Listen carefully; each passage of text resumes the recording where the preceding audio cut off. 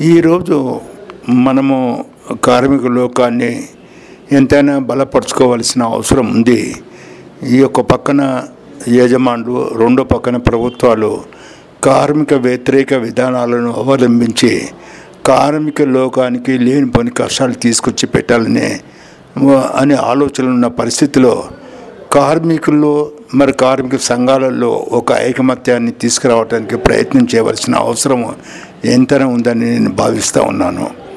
కార్మిక సంఘాలు మునుపటి మాదిరిగా మనం నడపడానికి ప్రయత్నం చేసినట్లయితే ఈరోజు ఒక పక్కన యజమానులు రెండో పక్కన ప్రభుత్వాలు కలిసి కార్మికులపైన ఒక దండయాత్ర చేయటానికి యజమానులు తమ యొక్క లాభాల గురించి తమ వ్యాపారం గురించే కార్మికుల్ని బలి చేయాలని అనుకున్నటువంటి రోజుల్లో అటువంటి పనులలో ప్రభుత్వం కూడా సహకరించడానికి సిద్ధపడుతున్న రోజుల్లో మన కార్మికుల్లో ఐకమత్యాన్ని తీసుకొచ్చి కార్మిక సంఘాల్లో కూడా ఒక సంఘటన ఐకమత్యాన్ని తీసుకొచ్చి అందరం కలిసిమెలిసి రాజకీయాలను పక్కన పెట్టి కార్మిక సంక్షేపానికి కార్మిక లోకానికి మేలు జరిగేటట్టు మనం అంతా కలిసి పనిచేయవలసిన తరుణము అవతరించిందని అవసరం వచ్చిందని నేను భావిస్తూ ఉన్నాను.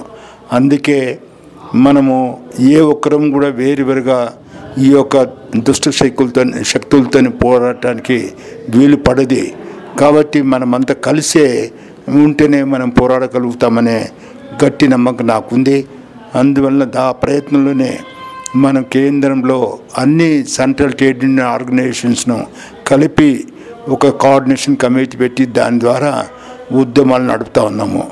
అది ఇంకా బలంగా ముందుకు వెళ్ళాలంటే అదేవిధంగా కింది స్థాయిలో రాష్ట్ర స్థాయిలో ఈ కార్మికుల సంఘాల మధ్యలో ఐకమత్యం వచ్చి అదేవిధంగా ఇంకా కిందికి వెళ్ళి కార్మిక సంఘాలలో మరి ఒక ఐకమత్యం తీసుకురావడానికి మనం ప్రయత్నం చేసినట్టయితే మనము కార్మిక లోకాన్ని కాపాడుకున్న వాళ్ళ మొత్తము కార్మికుల పైన ఏ దండయాత్ర ఈరోజు మరి మార్కెట్ ఎకనమీ అని ఇది ఒక కొత్త కార్మి కార్ కొత్త కార్మిక విధానం అని కార్మిక సంఘాలను అన్నీ కూడా మార్చేసి కార్మిక వ్యతిరేకమైనటువంటి చట్టాలను తీసుకురావడానికి కార్మికులను దూచుకోవాలని కార్మిక పర్మనెంట్ వర్కర్స్ని తీసివేసి వాళ్ళ చోట్లో కాంట్రాక్ట్ వర్కర్స్ని పెట్టి పని తీసుకొని తక్కువ వేతనాల్లో బానిసలు కార్మికుల్ని బానిసలు చేయాలనే ప్రయత్నంలో ఉన్నటువంటి తరుణంలో మనం కలిసి పోరాడకపోతే కార్మిక లోకాన్ని రక్షించుకోవటానికి వీలైనటువంటి పరిస్థితి ఉందని రెండవ పక్కన మనం ఈరోజు చూస్తున్న కేంద్ర ప్రభుత్వం యొక్క విధానం చూస్తూ ఉన్నాము.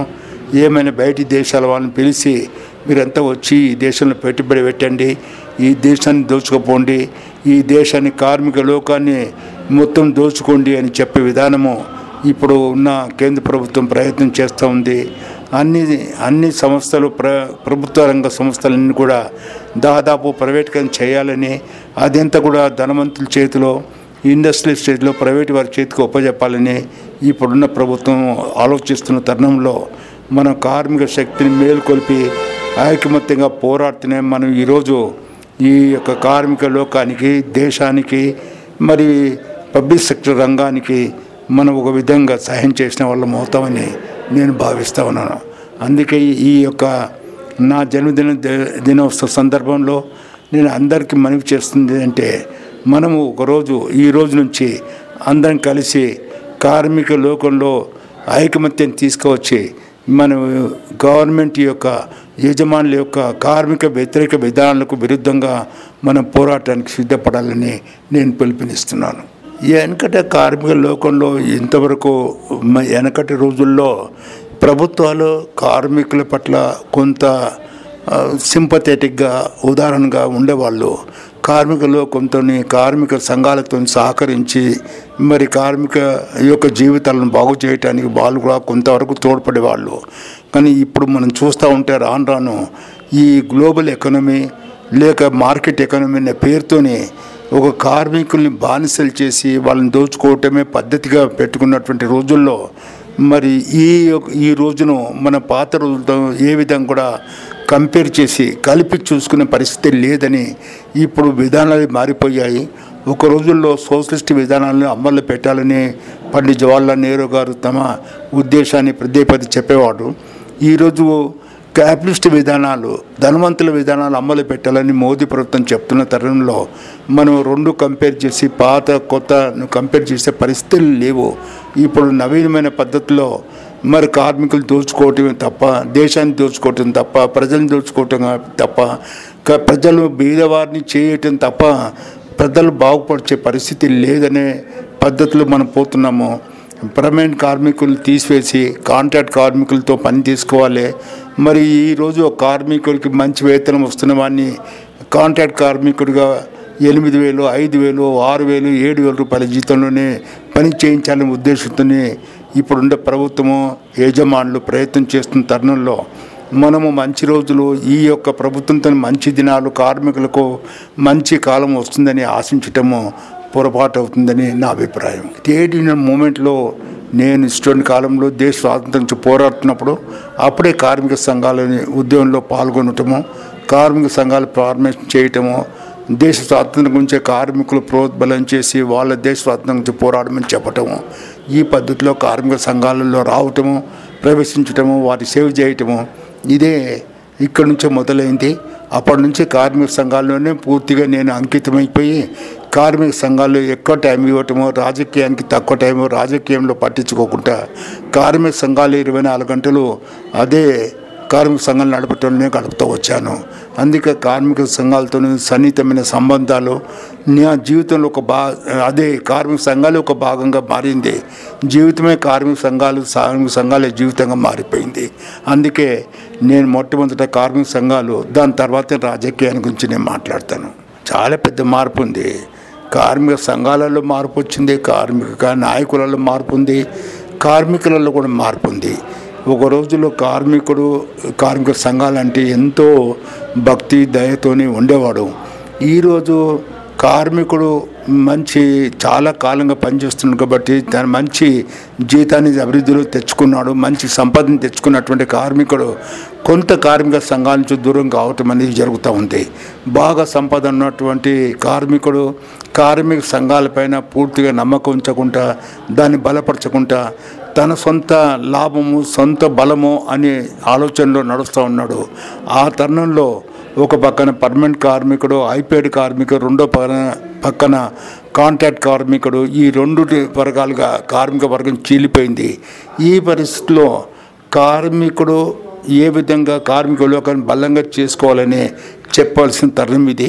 వాళ్ళను కార్మిక లోకం పక్షాన ఆకర్షించి వాళ్ళని కార్మిక లోకంలో కలిపి అందరినీ కలిపి తీసుకువెళ్ళే సమయం ఆసన్నమైందని నేను భావిస్తున్నాను. ఈ కార్మిక సంఘాల గురించి రాజకీయాల్లో ఎట్లా వచ్చిందంటే కార్మిక సంఘాల ప్రాముఖ్యత తగ్గిపోవటము కార్మిక సంఘాలు బలంగా ఉండకపోవటము కార్మిక సంఘాలు చీలిపోయి రాజకీయంగా వేరువేరుగా నడపటం వల్ల కార్మిక లోకంలో ఏ బలమైతే ఏ ఇంప్రెషన్ అయితే సమాజానికి దేశానికి ఇవ్వాలనో ఏ ఏదైతే సమాజానికి తెలపాలనో ఆ విధంగా తెలపలేని పరిస్థితి ఉంది కాబట్టి రాజకీయంగా దీని ప్రాముఖ్యత తగ్గింది. రా దీనికి కారణము కార్మిక లోకంలో ఉన్న డివిజనే మరి అందులో ఉన్న మరి ఒక విధమైన దాన్ని మన భేదాభిప్రాయాలనండి. ఆ భేదాభిప్రాయం వల్ల కార్మిక సంఘాలు చీలిపోవటం వల్ల కార్మిక లోకంలో కార్మిక శక్తిని మనం అంతగా రుజువు దేశం ముందే కానీ ప్రజల ముందే పెట్టలేని పరిస్థితి ఉంది. అందువల్ల రాజకీయానికి ఎంత ప్రాముఖ్యత ఉందో కార్మిక సంఘాలకు అంత ప్రాముఖ్యత మనం తీసుకురాలేకపోయాము ఈ దేశంలో. అది తీసుకురావాలంటే కార్మికుల ఐక్యమత్యం చేసి అందరి కార్మికులను ఒకటి చేసి మనం పెద్ద ఉద్యమాన్ని నడుపుతుంటేనే అప్పుడు సమాజానికి మనం గుర్తు చేసిన వాళ్ళం మొత్తం కార్మికుని భవిష్యత్తు ఈరోజు రాను రాను తగ్గిపో భవిష్యత్తులో వాడికి వచ్చిన ఇదివరకు సాధించిన హక్కులే పోగొట్టుకున్న రుజువులు కనబడుతుంది గ్లోబలైజేషన్లో. గ్లోబలైజేషన్లో కార్మిక ఒరిగేదానికన్నా ఉన్నది పోగొట్టుకోవటమే ఉంది. కార్మికుడి జీవితంలో వాడు సాధించాలనేది చాలా ఉన్నాయి. రిటైర్మెంట్ అయిన తర్వాత వాడు ఏ విధంగా బతకాలి? రిటైర్మెంట్ జీవితాన్ని ఏ విధంగా నడపాలో ఇంతవరకు సమాజమే కానీ రా దేశమే కానీ ప్రభుత్వాలే కానీ ఒక నిర్ణయానికి రాలేకపోతున్నాయి. కార్మికుడు బలంగా ఉన్నంత కాలం కష్టపడి పనిచేస్తున్నాడు దేశానికి ఉత్పత్తి చేస్తున్నాడు సంపద చేసి పెడుతున్నాడు దేశానికి. కానీ ఎప్పుడైతే వాడు వయసు వచ్చి రిటైర్ అయిపోతున్నాడో దాని తర్వాత వాని జీవితం గురించి పెట్టించుకునే నాదుడు లేడు. అటు దేశమే కానీ ఇటు ప్రభుత్వాలే కానీ అటు యజమానులే కానీ ఎవరు కూడా పట్టించుకోవటం లేదు. దీనివల్ల కార్మికుడి గతి అధోగతికి పాలవుతుంది. కార్మిక కుటుంబాలు చాలా కష్టాల పాలవుతుంది. అంతేకాక బాగా చదువుకున్నటువంటి కార్మిక పిల్లలకు ఉద్యోగాలు రాకుండా నానా బాధలు పడతా ఉన్నారు.